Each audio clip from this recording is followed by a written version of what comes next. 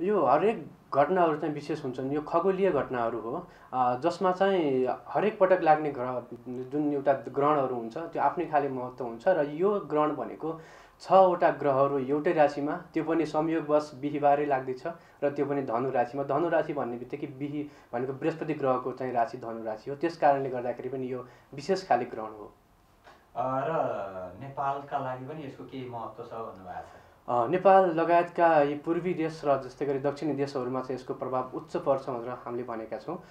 जस्तै कि ठुल्ठुला व्यक्तिहरूमा चाहिँ मान सम्मानमा समस्याहरू पर्ने त्यस्तै गरी कुनै ठुला व्यक्तिहरूको चाहिँ शारीरिक कष्टहरू भोग्नुपर्ने र यस्ता ठुल्ठुला घटनाहरू र दुर्घटनाहरू हुन सक्ने यो विगतका चाहिँ मा लागेको ग्रहणको कारणले गर्दाखेरि पनि यसको हामीले चाहिँ केही कुराहरू यसको बारेमा अनुसन्धान गरेका हौँ।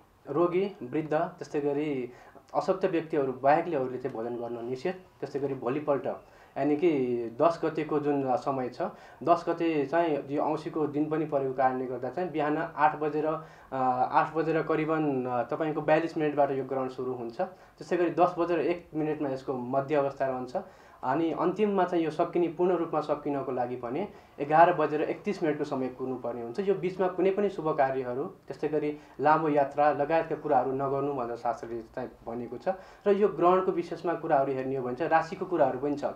यो यो चाहिँ ग्रहणमा धनु राशिमा लाग्ने भएको कारणले गर्दा चाहिँ चारवटा राशिहरूलाई हेर्नु मिल्ने छ। हेर्नु मिल्ने राशिहरू भनेको सबभन्दा पहिले कर्कट राशि त्यसपछि आएर तुला राशि अनि अनि आएर कुम्भ राशि र मीन राशि। यी राशि उनीहरूले चाहिँ हेर्नु भयो अरू बाँकी राशि उनीहरूले चाहिँ जस्तै मेष राशिले हेर्नु भएन वृष राशिले हेर्नु भएन त्यस्तै गरी मिथुन राशिलाई हेर्नु भएन अनि त्यस्तै गरी आएर चाहिँ तपाईँको सिंह राशि कन्या राशि अनि वृश्चिक राशि त्यस्तै गरी धनु राशिमा त लाग्ने नै भयो ग्रहण अनि आएर चाहिँ तपाईँको धनु पछाडि मकर राशिसम्मकोले हेर्नु भएन हेर्दाखेरि चाहिँ शारीरिक कष्ट पीडा सबै कुराहरू हुन सक्ने कुराहरू छ शास्त्रमा।